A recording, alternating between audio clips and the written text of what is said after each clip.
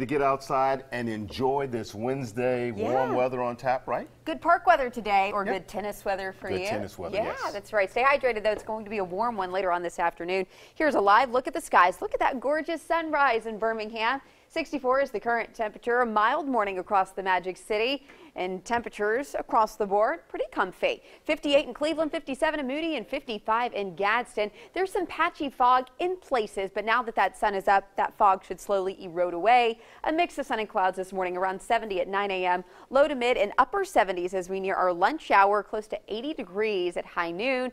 Temperatures will land in the mid 80s later this afternoon. But the next big story is the rain on tap. Although today will be a quiet and warm and really a dry day, I'm tracking rain moving in from the west and not really just rain, but active weather at that. We are looking at a line of showers and storms moving through East Texas right now, coupled with this cold front as this low pressure system moves off to the north and to the east. This cold front is going to really dig into the deep south. That will enhance our opportunity for strong storms over the next 24 hours. But I really want to communicate some of the uncertainty with this forecast. Here's why. There could be the introduction of some Gulf moisture, and you'll notice this white line I've drawn on here. Here's what I'm looking at. By tomorrow, this is going to be early tomorrow morning, 6 a.m. Still quiet for us in central Alabama, but rain moves out of the Gulf. What happens is if this rain moves into South Alabama earlier in the morning and through the early part of the afternoon, it will really kind of zap the atmosphere of a lot of energy. So where that cold front's back to our west,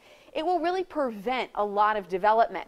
If that rain continues through the afternoon and the evening and on into the early part of Friday, that cold front really becomes pretty lackluster as it moves across Alabama. That to be said, if we don't see as much of this moisture as the Futurecast is determining right now, that could change in the next few hours. We'll, we'll continue watching the model forecast here, but if we don't see as much Gulf moisture, that would actually mean that this cold front will pack a bit more of a punch. So we're still going to keep a watchful eye on the skies, but you'll notice by Friday afternoon and into the evening, all that rain is gone completely. So for today, no severe weather is expected. All of the severe weather today will be well to our west, but notice tomorrow it looks like there's an enhanced risk for severe weather in northwest Alabama. That's where we could see some rotation, but the areas highlighted in yellow, that's a slight risk. That means it's going to be more of a wind and possibly hail event, much like we saw Monday night into Tuesday of this week. So very similar parameters exist with this. So the tornadic threat is low at this point, and otherwise just some pockets of very heavy rainfall.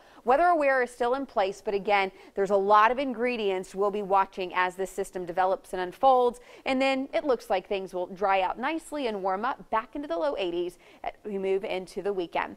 And that is a look at your storm track seven day forecast. Now, our coffee club winner for today is Margaret Gilly of Anniston. So if you're Margaret Gillian uh, wondering if you won the coffee club, you did. If you'd like to also try to be a coffee club member, you can sign up today at WIAT.com. Just keep watching. We may announce your name soon. Now,